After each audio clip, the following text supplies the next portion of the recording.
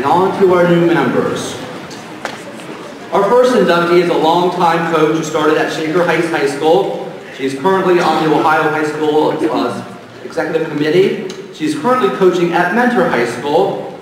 Um, she is being presented by her longtime friend, a mentor, a Hall of Fame member himself, Mr. John Mercer from Olmsted Falls in Oberlin. And we will be inducting Ms. Amy Roediger today.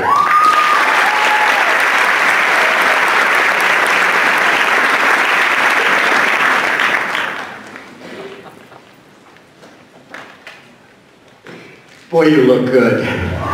You really do. You say good morning well, too. I'm not going to make you do it again, but that was awesome. I thank you. I have the most enviable job of anybody this weekend. My task is to introduce to you and to the Hall of Fame, Mrs. Amy Roediger, to the OHSSL Coaches Hall of Fame. It's my distinct honor. The only problem that I'm going to have is that this is going to have to be an iceberg introduction. There's really only time for me to give you that little bit of a tip at the top. There's so much grace, so much beauty, so much passion in this woman that it would take far too long. We'd never make it to round one. When I learned that Amy had been elected to the Hall of Fame, I immediately had two reactions. Reaction number one was, this is fantastic. Reaction number two was, what the heck took us so long? She's really quite an amazing woman. I thought about the passion, the compassion, and the quality. Now, a quick side note to all of the competitors today. As you learn about Mrs. Roediger and Mrs. and Ms. Sturzbach today, I want you to notice some of the resemblances they're going to have to your own coaches. The men and women up here on the stage are brilliant coaches, and as you hear about their brilliance, you're going to recognize that same brilliance in your coaches, maybe your head coach, maybe your assistant coach. And when that happens, don't be surprised. They all agree with me. This room is filled with wonderful coaches, whether you're a team of one or a team of 80. And so don't be surprised and don't forget to thank them at some point this weekend. They've earned it. Amy is a coach who is a family person. Coaching is really a family affair for her, and I'm really pleased to see that her mom is here, her two children are here, and her sister drove in. This is really great. Her kids know all about speech and debate. They've known tab rooms since they were, wow, so small. And her mom was her first, was Amy's first real assistant. She was at so many tournaments as a judge and occasionally a nurse when people fell out of the stands. Do you remember? She was so much a present that we, presence that we coaches just called her mom. Amy's mom, but we call her mom. So I'm so pleased today to be able to say, hi mom. Amy Roediger meets the qualifications, she exceeds the qualifications of a Hall of Fame coach. Yes, she's had a myriad number of state qualifiers, national qualifiers, national semifinalists, state final rounders, state champions. She's served on district committees, executive committees, tab rooms, on and on and on. But what makes her exceptional isn't all of that work. What makes her exceptional is the success that she brings to students. And that success begins in the classroom because Amy Roediger lives a double life. In addition to being a brilliant speech coach, she's a classroom teacher, a national board certified chemistry teacher who's been honored by her own district to help the other teachers in her district integrate technology into their classrooms. And in fact, if you go online, you're going to be able to find her. She's a tech guru. She's got a blog called A Lever and a Place to Stand. Check it out. I think that's a reference to some Greek guy, Archimedes. Have you heard of him? And, uh, and she posts videos regularly. Check out Happy Mole-oween. Yep, she's a chemistry teacher. There's another video I didn't watch, Ionic and Molecular Similarities and Differences. And I'm not alone, there's only 29 views. But I'll tell you what really shocked me was the video called The Love Meter. It only has 10 views. I don't get that. If you talk with Amy's students, they will tell you that the work she does in the classroom inspires them, shapes them. Graduates say that their careers in science they credit to her work. Her students regularly say she's tough but fair and tells absolutely the worst, most corniest jokes they've ever heard in their lives. The thing that I am most impressed with, with Amy, is her passion for speech. She works for the success of her team every single week, but it goes beyond that. She works for the success of every single competitor in the OHSSL. This is most apparent in her work in Student Congress. It used to be that Student Congress wasn't even at this tournament. It was an afterthought in many of our districts. But Amy and a small core of dedicated coaches changed that and created Student Congress into what it is at this tournament today, the largest event at this tournament. So Student Congress competitors, she's already helped you on your way in speech and debate. And every member of the Cleveland District, I bet you Amy knows you by name. She knows how you're doing. She checks the ranks out in the tab room. There were times I think she knew my kids better than I did. And she rejoices when she sees their successes. And she grieves when she sees their stumbles, even though they may not know of her rejoicing and her tears. And she understands what success really means. She understands that for some people, it's not a tournament championship. For some people, it's that one LD win. For some people, it's the courage to get up and make your second speech in that session of Congress. And for some people, it's their very first one. And she celebrates those victories with the same passion that she celebrates a tournament championship for one of her team members. Amy's temperament is also famous in Cleveland. Cleveland's resident curmudgeon, Mr. C. Frederick Snook, Hall of Fame member, was hosting a tournament. He reminded me of this a couple of weeks ago. He was hosting a tournament at Crestwood, and in the middle of the tournament, Mr. Snook was angry. No, strike that. He was enraged. No, strike that. He was beyond rage. He was in full meltdown, and he shouted and he shouted, this is my tournament, darn it, and you'll do what I say. I, I actually don't think he said darn it. The tension in the tab room was so thick, you could cut it with a chainsaw. And from a corner of the tab room, this young coach, Mrs. Roediger, started singing gently and sweetly, Kumbaya.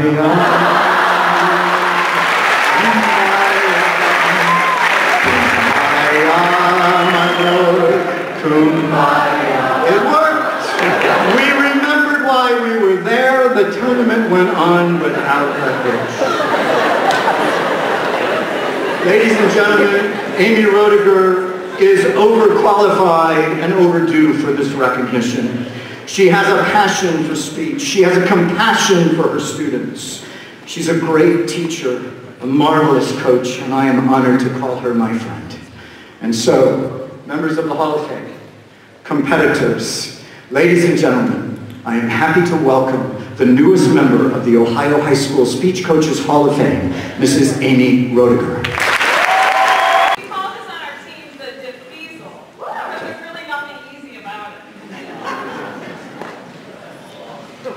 Before I say anything else, I'd like to express my congratulations to Missy Sturspa, but also I'd like to acknowledge Chad Reese, Pam Pisa, and Dale Schilling, who are on the Hall of Fame ballot with us. Truly, I would be honored to be in a sentence with them. To have shared the ballot with them was really, really overwhelming and took my breath away, so thank you so much.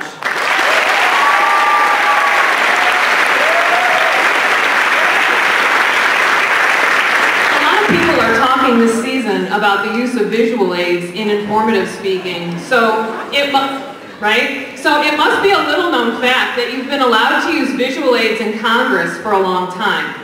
A couple of years ago, I was trying to convince my Congress team that we should bring a felt board to tournaments with us to make spontaneous visuals in the moment. Now, the kids in the room look confused because you don't know what a, felt board is, but this is like 1970s vacation Bible school smart board. so my proposal was, you know, we could take some felt people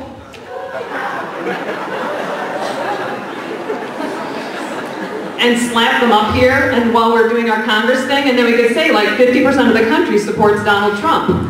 Or we could take some little felt circle pieces and we could make kind of an instant pie chart. Like, I got that far, and one of my students drew a circle on the board and pointed to it and said, 100% of this team thinks this is a terrible idea.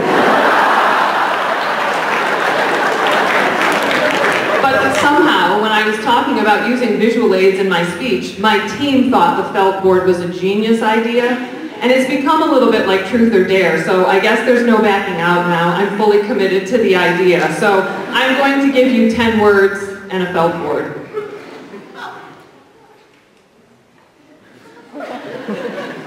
When I was growing up, my mom was a nursing supervisor at a local hospital. Because this is a pretty important job, my sisters and I were given strict instructions never to call unless it was an emergency. The trouble was, it was always an emergency. And they were important things too, like, where are my blue socks? Or, did you know we're out of peanut butter? Now, when you called the hospital, there was a lady who sat behind a giant desk.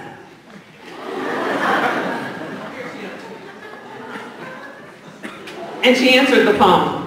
And she did it so many times a day that she started to sound like a machine when she said, a Richmond Heights General Hospital. And then in our most adult voice, we would say, may I please speak to the nursing supervisor? And then she would go, oh, thank you. So we called so often that, you know, we listened to it all the time and we got to where we could do a pretty good imitation. So one morning there's a crisis, you know, like how do I make chocolate milk or something. So we call a Richmond Heights General Hospital and then we say, may I please speak to the nursing supervisor? And she says, oh, thank you. And so I'm horsing around with my sisters on the phone, right? So I look at them and I'm like, oh, thank you. And then the unthinkable happened. On the other end of the phone, she said, you're welcome. So in the spirit of that great lady who said thank you to me so many times, I'd like to start with my thank yous. And I'm going to start by thanking you for indulging me as I publicly thank these people who have been so important to me along my journey. So first to my children, thank you Theo and Charlotte for being willing to share me with all these other kids for 14 Saturdays a year and all of the other stuff that goes with it. It means so much to me that you're here today.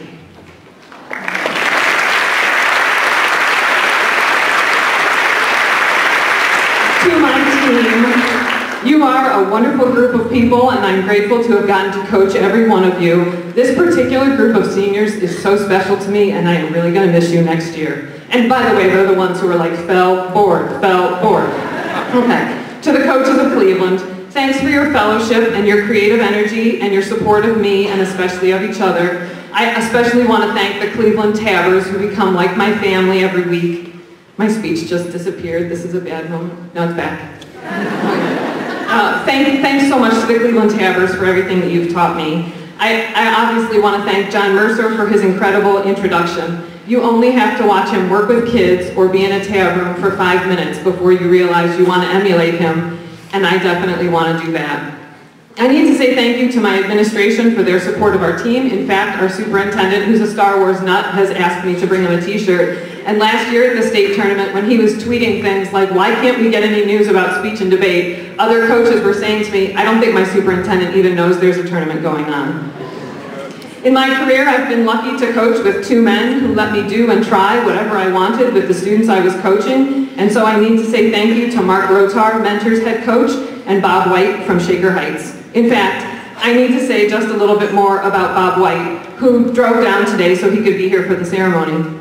When I was in college, it was my dream to direct plays. But when you get a, a, job where theater is what it is at Shaker Heights and also at Mentor, that's never going to happen for a chemistry teacher. So Bob invited me to coach with him, and my next best thing has become an even better thing.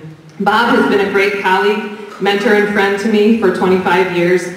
He's an unshakable ethical compass in a tab room and taught me to stay level-headed in there, and he always keeps me laughing. When the time was right, it was Bob who encouraged me into leadership roles in our district, and I never would have done that without his support and encouragement. So thanks, Bob. One last thank you. Oh, that was nice. Big clap for you.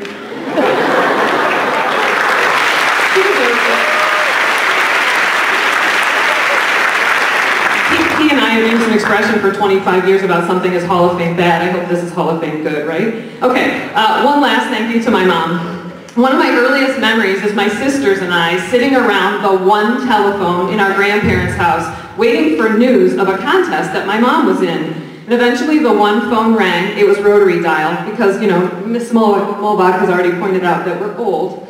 Uh, so the phone rang and my mom was on the other end and she said she won the contest. So I was about six at the time and I think I thought she won something like Miss America. And when she got home from Columbus, there were pictures of her wearing a sash and holding flowers, so it seemed like she'd been crowned the queen of something. Well, it turned out what she had won was a, a public speaking contest, and she'd been crowned the Ohio spokesperson of the American Cancer Society. She spent two years traveling around the state, speaking at bowl-a-thons and swim-a-thons, and spreading a message of hope. So she planted the public speaking seed early in me. My mom is also famous for her saying that you don't get to choose the activities that your kids will love, but once they choose, you get entirely on board. And so my mom has been a great debate judge, as you heard John say, um, and she organized concessions at my tournaments at Shaker and did the judge food for a lot of years. You've never seen anything until you've seen my mother make a salad in a hefty bag. It's really something. So thanks, Mom, for being entirely on board with speech and debate since day one. And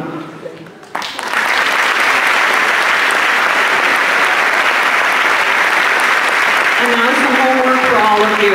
At some point this weekend, find a moment to say thank you for someone. Not just thank you like when you hold the door or when you get done competing and you say thank you, but really and truly, think of a way that you can say thank you to someone and explain how what they did made a difference for you.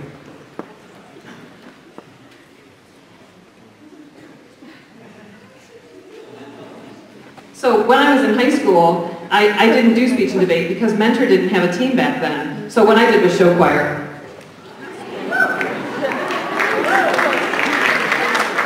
Now, now the people are back. So at first glance, show choir probably doesn't seem very much like speech and debate. We do a lot of this,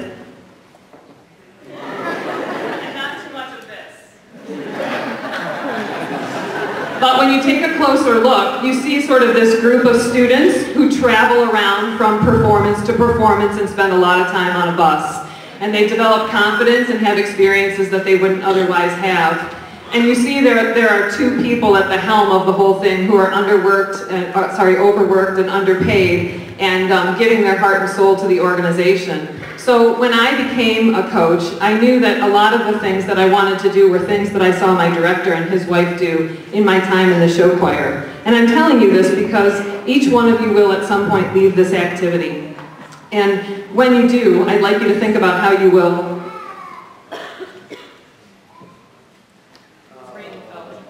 pay it forward. Of course, we'd all be thrilled if you would give time back to our league, coach a team, volunteer at a camp, judge every year at districts, every little bit helps. But even if you wander away from forensics, I hope you'll find a way to use your incredible skills, especially your public speaking skills, to benefit a nonprofit. Now, at the beginning of 2016, there was a movement on Twitter called hashtag one word, where people were encouraged to think of the one word that summed up their hopes for 2016. So I'm going to ask you to do that this morning, except I'd like your one word to be about why did you join the speech and debate team? And then after you come up with it, we're going to shout them out. So everybody, I'm going to give you 10 seconds. Think of one word that describes why did you join the speech and debate team?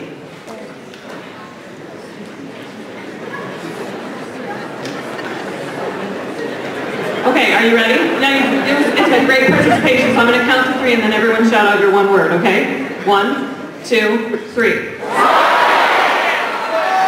That was great. We're going to come back to those words in just a minute. Okay, so here's a podium, right, with the gavel. I know that I'm going to be remembered as the Congress lady.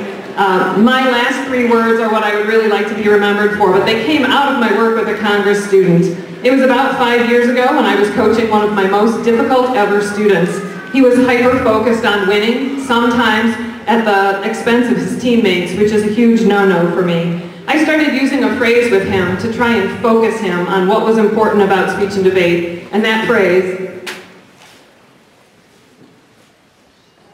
is skills, not scores. The trouble with wanting to win, and I tell my team this all the time, is that the best kids don't always win. And part of that is because in a room full of Hall of Fame coaches, we wouldn't all agree on who the best kid is. This is such a great and exciting weekend with a thousand people all vying for state championship, but only 16 people will be state champs, and that means over 900 students will be not state champs. A minute ago, when I asked you to shout out your word that describes why you joined your team, I didn't hear anyone scream, right? Because probably we didn't get in it for that, but once we get sucked into the, the winning vortex, we start to think like just one more round, just one more rank, right? So um, I'd like you to keep thinking about that, that word as you compete this weekend. The most important and best coaching I've ever done was with students who didn't win, and I'd like to tell you about one. So years and years ago, I was coaching a student named David Distelhorst, who was an extemper. And he would write all his stuff down on his index cards and then I think hold them up in front of his, his face while he spoke. And he was doing terribly, you know, obviously. And I kept saying, David, just put down the index card and see what you can do without the card, but he wasn't convinced. So I tell you this story partly because we brought him down to the Cincinnati-Princeton tournament. And it was a huge tournament, seven extempers in every section. And David got the seven in every single round. He was the worst extemper at the tournament, right? So we get in the van, we're driving home to Cleveland. Then he's reading his ballots, and he says, you know, as I read these, I think I'm going to try something different next time. And I say, you know, really, what do you think you'll try? And he says, I am thinking about going it without the index card. Good plan, Dave. So, so he puts the index card down, and he starts working on his actual speaking, right? Instead of just trying to read it off the card. And his sevens became fives, and then his fives became threes. And at the end of that season, he qualified for states. And you've never seen a kid do a more joyful run up the aisle and onto the stage. I think he just jumped onto the stage. He was so excited to qualify. And he went on to qualify two more times. I have no idea how he finished at the state tournament. I don't know. He made it to quarters or semis or something. But what I do remember about David is when he invited me to his Eagle Scout Court of Honor, he spoke. And he said there were two organizations that were responsible for shaping him into the person that he was. And he's up here speaking like I am now, just so eloquently. And the two organizations were the... Okay. Um, uh, yeah, maybe I'm not so eloquent. Okay, so um, one was the Boy Scouts of America, and the other was the speech and debate team, and those words were a huge win for me and a huge win for David. So as you compete this weekend, please keep thinking about my nine words. Say thank you, pay it forward, and most importantly, skills, not scores, and your one word, because those are the things that will make you a winner. Thank you.